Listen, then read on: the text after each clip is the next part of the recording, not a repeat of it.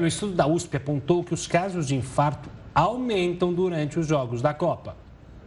No país do futebol, é só o hino nacional começar a tocar para que os batimentos cardíacos do brasileiro acelerem. O futebol é levado a sério no Brasil e isso pode causar consequências graves para alguns torcedores mais emocionados.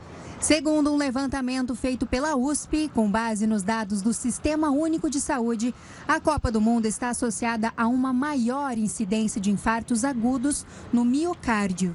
Durante as partidas da seleção brasileira, o número de ocorrências aumenta entre 4% e 8%. Numa forte emoção, o coração é exigido. Algumas alterações acontecem no nosso organismo, com liberação de adrenalina, por exemplo, que exige o aparelho cardiovascular. A pressão arterial sobe, assim como sobe bastante a frequência cardíaca. Isso pode levar a alguns problemas, principalmente diabéticos, idosos, pessoas que já têm algum problema no coração e não sabem, alguma obstrução em coronária, por exemplo.